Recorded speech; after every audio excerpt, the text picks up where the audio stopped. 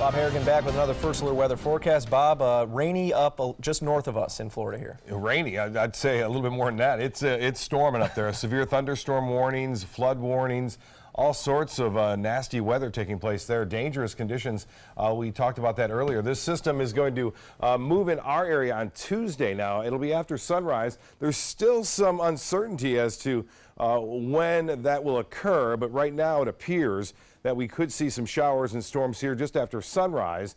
And then the actual front coming through later in the day also producing the potential for some showers and storms. Now, we will see some clearing on Wednesday, but uh, again, another possibility of a first alert weather day on Sunday. In fact, that's a little bit better chance as that front appears to be a little stronger, uh, which could produce some showers and thunderstorms, which could be rather strong with a lot of heavy rainfall. They're seeing the heavy rainfall now, and it appears most models, at least a couple of them, agree that the heaviest rain will be squeezed out of the system as the area of low pressure tracks mainly to the north of us. But the cold front itself and the prefrontal trough or the outflow from these heavier storms will have an impact on our weather tomorrow morning. Right now, the heaviest rain by far right along I-75 near Ocala. The uh, storm tracker indicating uh, some very heavy lightning here. On top of that, some small hail uh, as it makes its way off toward the east. It is dropping a little bit to the south, but it's not going to have much of a push yet to the south. So it's going to stay to our north tonight.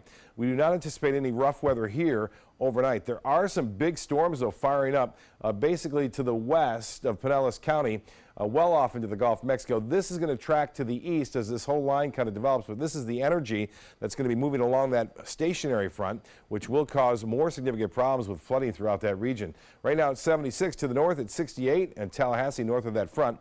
Temperatures all here very warm, very muggy too, and the water temperature now at 78 degrees. Currently, we have a few clouds around the Sarasota Bradenton Airport. It's warm, it's muggy, and we had some fog rolling in as well earlier uh, near Aledo. As far as the futurecast goes, this is one particular model.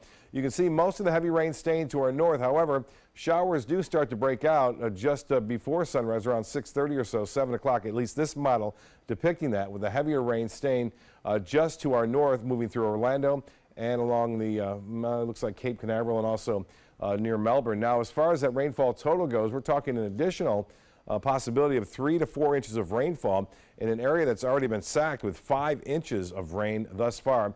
The rainfall estimates are anywhere from a quarter inch up to about a half inch for our particular area.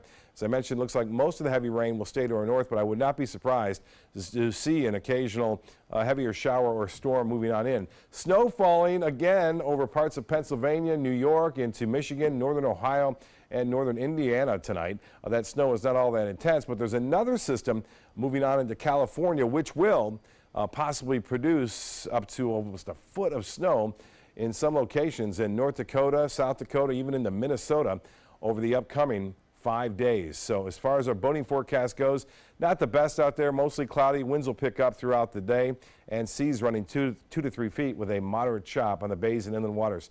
70% chance for showers and a few thunderstorms on and through Tuesday. They'll taper off by around sunrise on Wednesday morning. We'll see some clearing there. And then a nice day Thursday and Friday. And then the other system due to arrive late Saturday and Sunday, bringing with it a good chance for showers and some thunderstorms on Sunday. Adam?